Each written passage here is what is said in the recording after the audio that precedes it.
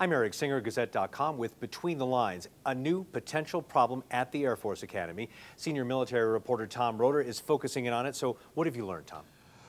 A cadet was apparently arrested on Friday in Boulder County on charges of sexual assault and kidnapping. The Air Force Academy confirmed that today without releasing a cadet's name. However, Boulder County jail records show that a 21-year-old Daniel Thomas Ryerson was arrested on Friday on a number of charges and released on a $20,000 bond. We're waiting for details in the Ryerson case, but what we know so far is he is accused at this point of sexually assaulting a helpless victim and moving that victim at some point, resulting in the kidnapping charge.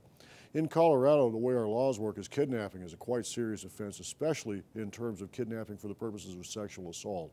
If convicted, a defendant could face up to 48 years in prison. All right, thank you very much, Tom. And of course, Tom is continuing to follow this story. And if you'd like to read more, go to senior military reporter Tom Roeder's column in Gazette.com. With Between the Lines, I'm Eric Singer, Gazette.com.